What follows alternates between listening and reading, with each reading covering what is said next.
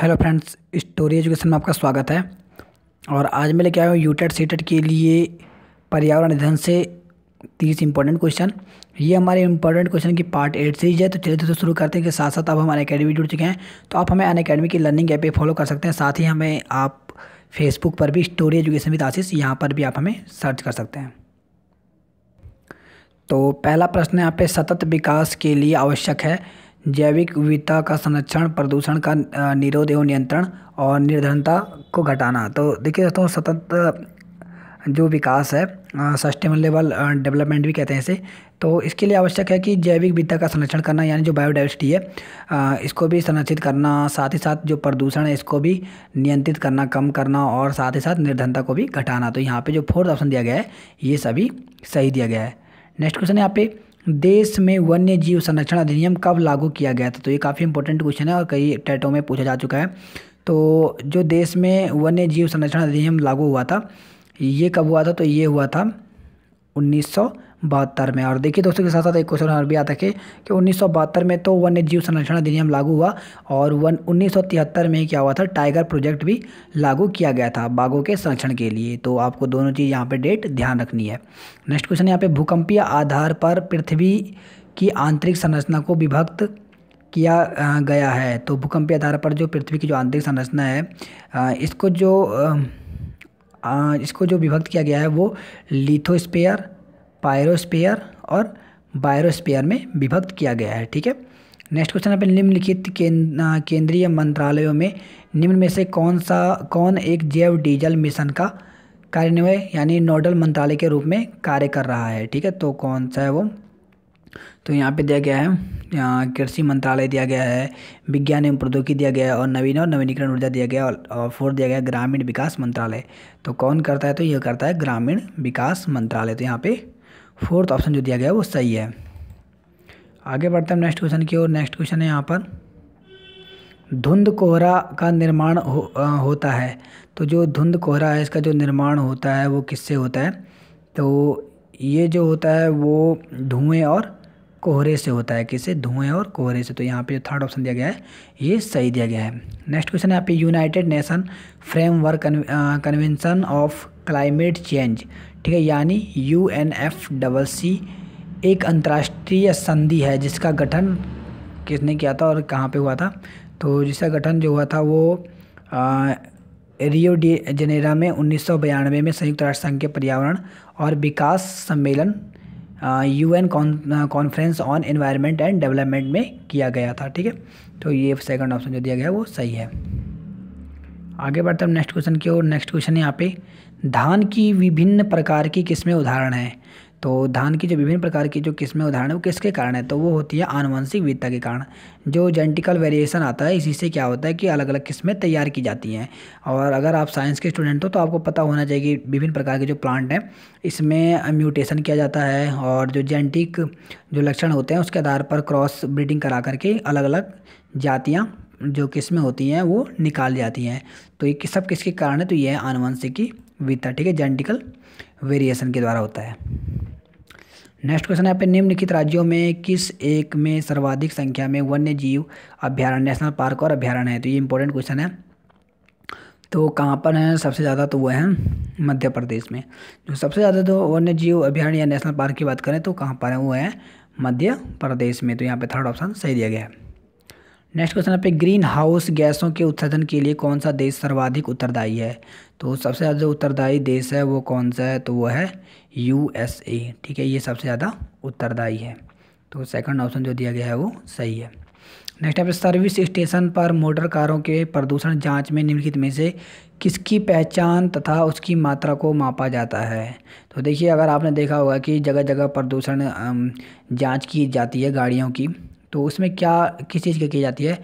तो वो उसमें देखा जाता है कि उसमें सीसा तथा कार्बन का कण कितना है, कितना वो उत्सर्जित कर रहा है, ठीक है? तो इसको देखा जाता है। तो यहाँ पे फ़र्स्ट ऑप्शन सही दिया गया है। नेक्स्ट क्वेश्चन है, आगे बढ़ते हैं हम।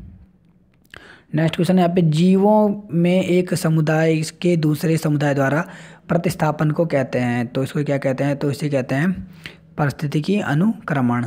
ठीक है कहते हैं परिस्थितिकी अनुक्रमण। नेक्स्ट क्वेश्चन यहाँ पे निम्नलिखित में से, किसके कारण वायु प्रदूषण नहीं होता है? तो किसके कारण होता है? यहाँ पे दिएगा डीजल इंजन के द्वारा या पराकरण के द्वारा, ताप विद्युत शक्ति केंद्र के द्वारा या जल जल विद्युत शक्ति के द्वारा। तो किसके द्वारा नहीं होता? तो वो होता है जल विद्युत शक्ति केंद्र के द्वारा।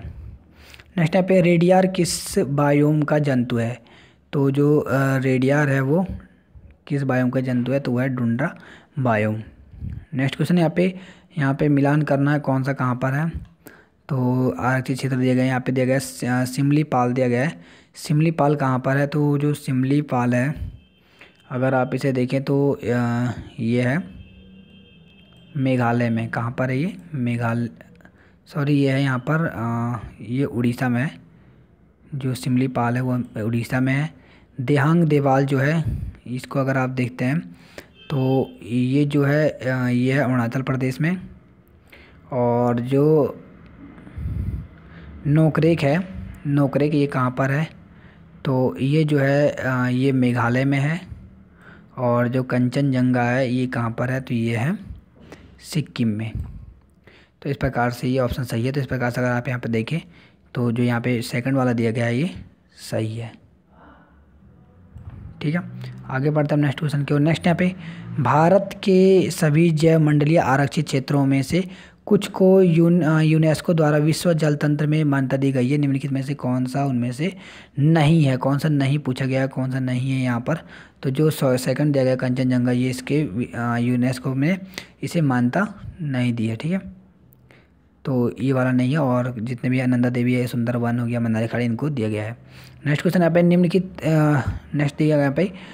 विश्व जलवायु परिवर्तन पर बनी क्योटो संधि की अवधि कब समाप्त हो गई है?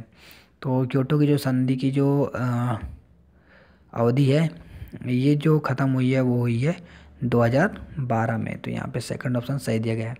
नेक्स्ट क्वेश्चन यहाँ पे, कुंज वन कहाँ वितरित है? जो कुंज वन है, वो कहाँ पर है?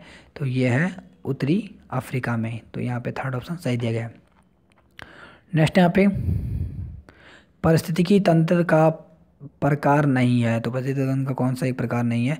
तो वह है वायव्य परिस्थितिकी तंत्र। ये नहीं, जबकि आपने देखा होगा स्तरीय जलीय स्तरीय पारितंत्र यानी इको सिस्टम होता है, जलीय भी होता है और कृत्रिम भी होता है। आर्टिफिशियल में जैसे आपका एक्वेरियम इसका बहुत अच्छा एग्ज़ाम्पल है। और स्तरीय में जैसे आपने देखा होगा फॉरेस्ट का हो गया ठीक है? तो ये सब स्थलीय इकोसिस्टम में आते हैं, जलीय में देखेंगे तो अगर आप नदियों का, तालाबों का जो ये वाला आते हैं, ये जलीय, यानी इको ये एक्वेटिक इकोसिस्टम होते हैं। लेकिन यहाँ वायवे कोई तंत्र नहीं होता, ठीक है? तो इस प्रकार से जो थर्ड ऑप्शन दिया गया था वो सही है। नेक्स्ट क्वेश्चन यहाँ पे, एक खाद्य श्रृंखला में अधिकतम कितनी कड़ी हो सकती है? तो एक खाद्य श्रृंखला में अगर हम बात करें तो सबसे अधिक जो कड़ी हो सकती है वो चार से पाँच तक हो सकती हैं। तो यहाँ फोर्थ ऑप्शन सही दिया गया। नेक्स्ट क्वेश्चन यहाँ पे प्रकृति में ऊर्जा का प्रमुख स्रोत क्या है? तो प्रकृति में ऊर्जा का प्रमुख स्रोत जो है, वो है सूर्य का। सूर्य नहीं होगा तो कुछ भी नहीं हो पाएँगे, क्योंकि जो सूर्य है, इसी से क्या करते हैं कि पेड़ पौधे भी सूर्य की प्रकाश से उपस्थित होकर के और फोटोसेंसिस फोटोसिंथेसिस की प्रोसेस करते हैं और जिससे क्या करते हैं भोजन का निर्माण करते हैं। नेक्स्ट क्वेश्चन यहाँ पे पारिस्थितिकी पारिस्थितिक तंत्र में ऊर्जा होता है। देखिए जो इकोसिस्टम होता है उसमें जो एनर्जी होती है वो किसमें होती है? तो जो एनर्जी होती है वो रूपांतरित हो जाती है। किसमें? रूपांतरण होता है। एनर्जी का क्या होता है? और ऊर्जा का रूपांतरण होता है। इसलिए हमने कहा था इसमें टेन परसेंट का लॉ लगता है कि अगर कोई आ, कोई अगर प्लांट है इसकी अगर कोई इसको कोई दूसरा अगर एनिमल्स प्लांट को खाता है तो इस प्लांट की अगर माना इस प्लांट में हंड्रेड परसेंट एनर्जी है तो इसका केवल टेन परसेंट ही दूसरे प्लांट में जाता है, ठीक है? तो इसे टेन परसेंट का लॉ भी कहा जाता है। तो इसका क्या होता है? ऊर्जा का यहाँ पर रूपांतरण होता है। नेक्स्ट यहाँ पे निम्नलिखित में से कौन सा पारितंत्र प्राकृतिक है? तो यहाँ पे देख, गेहूँ का खेत, आम का बाग या घास का स्थल या एक्वेरियम। तो यहाँ पे पूछा गया है कि प्राकृतिक या नेचुरल कौन सा है? तो आपको देख के ही पता लग जा रहा होगा कि यहाँ पे जो नेचुरल कौन सा है तो वह है यहाँ पे घास का मैदान, जो घास का मैदान है नेचुरल है। देखिए गेहूँ का खेत इसलिए नेचुरल नहीं है क्योंकि हम लोग इसमें गेहूँ डालते हैं, फिर बनता है आम का बाग बाग भी वही है। क्या अगर आप आम के पेड़ लगाओगे तो वहाँ पे पायतंत्र बनेगा, नहीं लगाओगे तो नहीं बनेगा। एक्वेरियम में भी वही अगर एक्वेरियम आप फ़िश रखते रखते हो, तभी वो एक इको सिस्टम बनते तो ये सब के सब जो है वो आर्टिफिशियल है। जबकि जो घास का स्थल होता है वो क्या है? नेचुरल है। नेक्स्ट पे कार्टोजेना प्रोटोकॉल का संबंध किससे है? तो कार्टोजेना जो प्रोटोकॉल है, इसका जो संबंध है, वो जैव सुरक्षा समझौते से है। तो यहाँ पे सेकंड ऑप्शन सही दिया गया है। नेक्स्ट यहाँ पे D P D O programme किस वर्ष से चालू है, जो समुद्र से औषधियाँ प्राप्त करने में प्रयोजनों में मदद करता है? तो कब से है ये? तो इसका जो दिया गया है, उन्नीस सौ नब्बे से इक्यानवे, यानी फ़र्स्ट ऑप्शन सही दिया गया है। नेक्स्ट क्वेश्चन यहाँ पे एबोनी तथा महोगनी वृक्ष संबंधित है। तो एगोनी और जो महोगनी जो वृक्ष होते हैं, वो किसे संबंधित वो हैं? यहाँ पर जो फोर्थ ऑप्शन दिया गया है अयनवतीय सदाबहार वनों से। तो यहाँ पे फोर्थ ऑप्शन सही दिया गया है। नेक्स्ट यहाँ पे सूची का मिलान करना है। दिया गया है फ़ोन दिया गया है। तो जो फ़ोन होते हैं, ये कहाँ पर हैं? तो ये जो इनका जो क्षेत्र होता है, वो ये पवनों का नाम है, स्थलीय पवन, स्थानीय पवन है तो फ़ोन जो होता है वो ऑलपस में पवने आती हैं। जो सामुन है, ये कहाँ पे आती है? तो ये कुर कुर्किस्तान में होती, आती हैं। सेंटाइना जो पवने हैं, ये कैलिफ़ोर्निया में आती हैं। और जो जोडा है जोंडा है, वो कहाँ पे? अर्जेंटीना में। तो इस प्रकार से अगर आप देखिए तो सेकंड ऑप्शन यहाँ पे सही दिया गया है। आगे बढ़ते हैं नेक्स्ट क्वेश्चन की ओर। नेक्स्ट यहाँ निम्नलिखित में से किसको केंद्रीय प्रदूषण नियंत्रण बोर्ड द्वारा अत्यधिक प्रदूषणकारी उद्योग के रूप में अभी निर्धारित नहीं किया जाता है। तो कौन सा है वो? तो वो है यहाँ पे चाय। चाय को अभी अभी ज़्यादा जो अत्यधिक प्रदूषणकारी उद्योग है, इसमें शामिल नहीं किया गया है। आगे बढ़ते हैं नेक्स्ट क्वेश्चन की ओर। नेक्स्ट यहाँ पे प्रकाश रासायनिक धूम कोहरे की रचना के निम्नलिखित में से कौन सा एक आवश्यक नहीं है? ठीक है तो कौन सा नहीं है? तो वो है ऑक्सीजन। तो फ़र्स्ट ऑप्शन यहाँ पे सही दिया गया है। नेक्स्ट स्टेप पे डॉप्सन इकाई का प्रयोग किया जाता है। तो डॉप्सन से क्या नापा जाता है? तो डॉप्सन से नापा जाता है ओजोन परत की मोटाई। ठीक है? डॉप्सन से क्या मापा जाता है? ओजोन परत की मोटाई को डॉप्सन से मापा जाता है। और लास्ट क्वेश्चन है यहाँ पर। निम्न में से किस दिन को राष्ट्रीय ऊर्जा संरक्षण दिवस के रूप में मनाया जाता है। तो राष्ट्रीय ऊर्जा संरक्षण दिवस कब मनाया जाता है? तो ये मनाया जाता है चौदह दिसंबर को, ठीक है? तो देखिए दोस्तों, इस प्रकार से हमने ई वी एस के तीस इंपॉर्टेंट क्वेश्चन किए। आपको हमारी वीडियो कैसी लगी? इसके लिए प्लीज़ लाइक कीजिए कमेंट कीजिए और शेयर कीजिए।